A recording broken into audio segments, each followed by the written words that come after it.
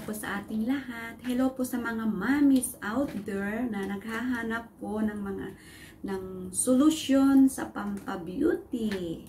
Ito po, uh, ipapakita ko po sa inyo ang itlog ay hindi lang po kinakain, kundi pwede po palang gamitin pampa ganda. Ayan, pang facial mask para hindi po tayo maiwasan ang ating mga wrinkle. Yan, kasi nagkakaedad na po tayo, kaya kailangan po nating alagaan ang ating beauty para lalong ma-inlove si Mr. at hindi po maghanap ng iba. Kaya ito po, eh, kunin po natin ang egg white, yung or egg yolk. Gamitin natin pang facial mask. Ito po yung itlog. Basagin na po natin.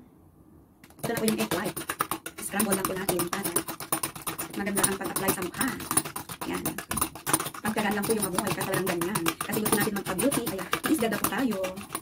Yan. Pwede na po to. Pwede na natin Okay, pwede na po natin i-apply sa mukha. Yan, is-is lang po tayo. Yan. Gamit ko po ito twice a week.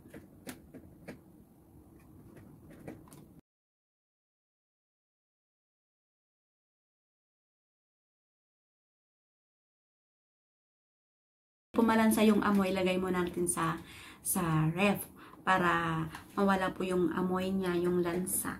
Yan.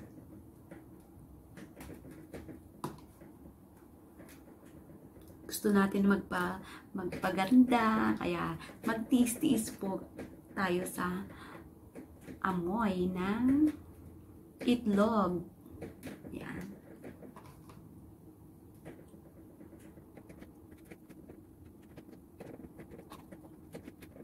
Bes na bibili po tayo ng mga mamahanin, gamit na lang po tayo ng mga natural. Hindi pa tayo hindi pa tayo magka-allergy.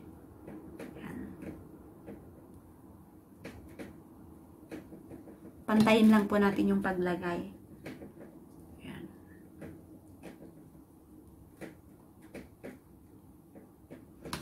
Mahal kaya ng facial mask. Kaya, itlog na lang kayo. Magkano lang naman ang isa? Sampo. Diba? Kainin pa natin yung dilaw.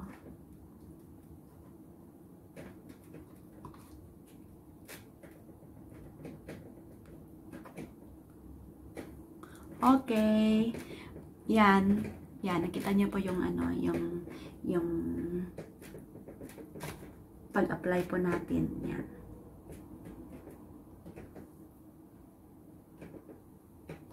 Yan, hintayin po natin hanggang matuyo saka natin anlawan.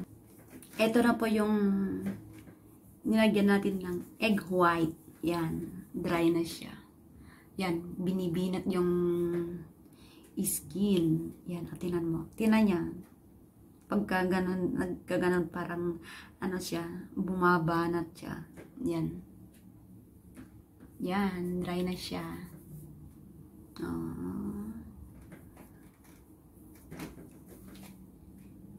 Pag wala po tayong pabili ng itlog, pwede nating kunin yung isang itlog ni Mister.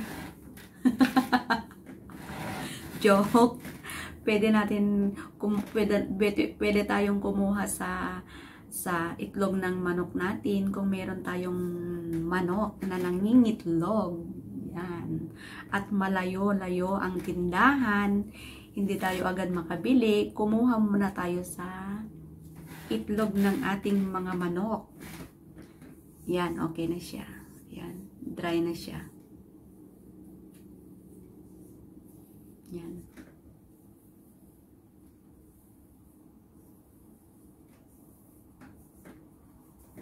Yan, anlawan na po natin. Ayan, naanlawan ko na po yung nilagyan natin ng egg white. Parang nag-facial mask lang po ako. Ayan. Sana nagustuhan nyo po ang aking vlog tungkol sa beauty tips ng egg white or egg yolk. Nakaka ano po din ng wrinkle, anti-aging, lalo na tayong mga umiidad na, kailangan po natin magpa-beauty para ma-maintain po natin ang ating beauty at lalong ma-inlove si Mr.